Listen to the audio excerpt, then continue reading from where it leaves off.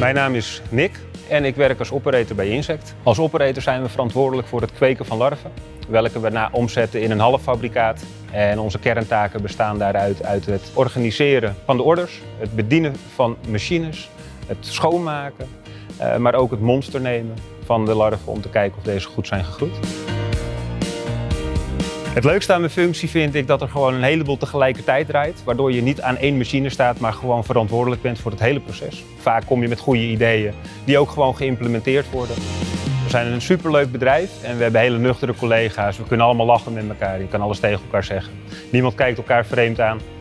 En ja, dat maakt het ook gewoon ontzettend tof om met ze te werken. We kunnen zeker meedenken in de organisatie. We zijn een ontwikkelend bedrijf. En ja, daarom wordt er ook onze input gevraagd over hoe wij erover denken. En wellicht dat dat juist het idee is wat ze implementeren. Je kan hier gewoon starten bij Insect, ook als onervaren operator. We hebben genoeg mogelijkheden om ervaring op te doen. En kun je ook heel snel doorgroeien naar een nieuwe rol.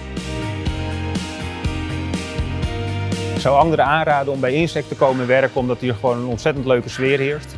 Daarbij zijn alle werkzaamheden zijn zo alomvattend uh, dat ook geen dag hetzelfde is. Zo ga je de hele dag uh, ja, vlekkeloos door. Word jij mijn nieuwe collega?